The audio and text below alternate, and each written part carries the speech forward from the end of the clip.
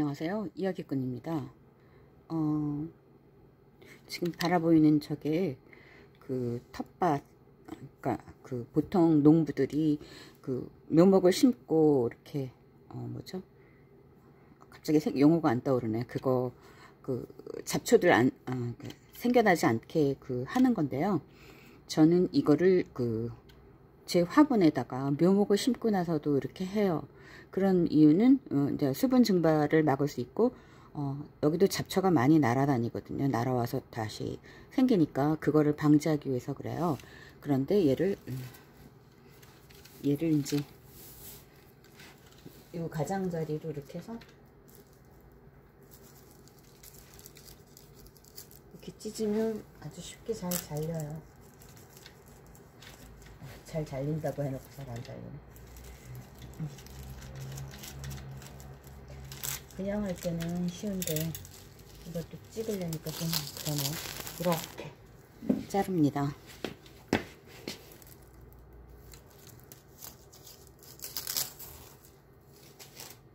이렇게 잘라서요. 묘목을 신고 흔들리지 않게 기둥을 세워주고요 음. 아 그리고 지금. 어, 여기가 여기가 이렇게 어, 접목 부위에 테이프가 접목 테이프가 붙어 있었어요. 이거 다 뜯어야 돼요. 안 뜯으면 이게 끊어져요. 끊어져서 자라다가 보면 구멍 나가지고 빡 부러져 서 죽어요 나무가. 사실 배달될 때도 그렇게 된 게 있어 가지고 사실 작년 4월에 산 보라색 신종 그거가 죽었어요 저는 이렇게 해가지고 음, 끈으로 묶는데 지금 끈이 없네요. 이렇게 해서 마치 텃밭 주인이 하듯이 그렇게 합니다. 지난 여름에 쓰던 어, 끈이 다 떨어졌나요? 그래서 지금 철사로 묶습니다. 음, 묶고 감사합니다. 흔들려서 이렇게 묶어 놓으면 좀 수분 증발을 빠르지 않아서 이렇게 어, 잘 자랄 거예요.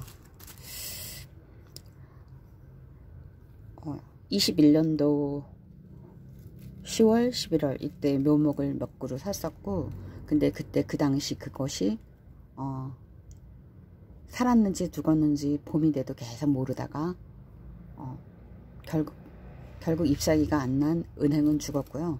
단풍은 작년에 예쁘게 잘 자라 주었고요. 둘 다 2,000원짜리 묘목이었지만 어, 지금은 은, 단풍나무가 너무너무 예뻤기 때문에 굉장히 저렴하죠.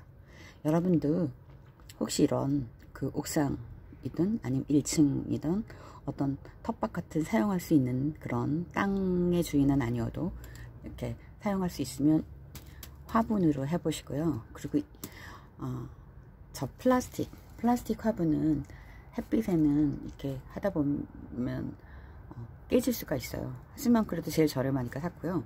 이거는 어, 좀 고무 화분인데 저거보다 저기 플라스틱보다는 조금 비싸지만 저렴해요. 이거는 굉장히 오래 간다고 그랬고 햇빛에도 강하니까 이걸로 해보시고요.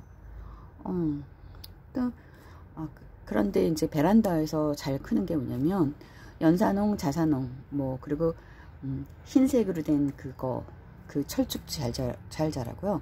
그리고 어, 블랙로즈 동백, 그 서양 동백, 향 동백, 그냥 일반 동백 동백도 잘 베란다 에서 잘 커요. 그러니까 그런 거는 묘목으로 사면 싸잖아요. 한번 한번 시도해 보세요, 여러분.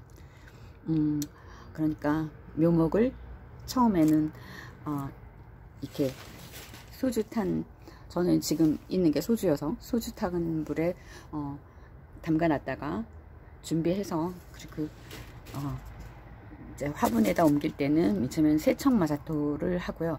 저는 예전에 세척 마사토가 아닌 걸로 했을 때 보면은 그, 음, 그, 저, 물이 다 나와요. 그 농, 녹물이 아니라 그 흙탕물.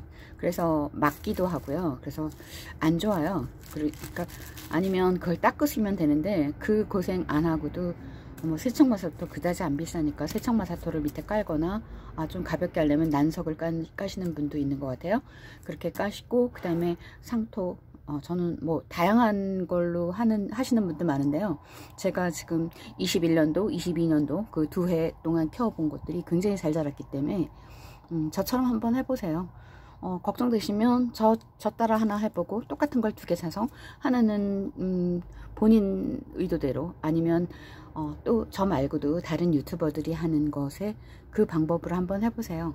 어쨌든 오늘 6개 그러니까 라핀 체리 둘, 그 다음에 러시안 파로 체리 하나, 그 다음에 어, 캠벨 포도, 그 다음에 산딸나무, 그 다음에 단성류 이렇게 해서 여섯 그루를 했습니다. 근데 단성류, 캠벨, 산딸은 삽목, 삽목, 삽목된 묘목이고요. 지금 체리 세 개는 접목된 거예요. 어쨌든 저는 여섯 개다 했네요. 감사합니다.